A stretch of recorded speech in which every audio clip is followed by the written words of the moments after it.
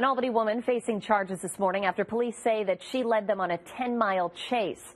East Greenbush police say that they stopped Nancy Esmay for speeding, but then she just took off. Officers from several police departments tried to pull her over again. They only caught up to her after she crashed her car on 23rd Street and 12th Avenue in Watervliet. Several cars, as you can see, were damaged during this chase. Esmay was arraigned in town court last night and sent to the Rensselaer County Jail.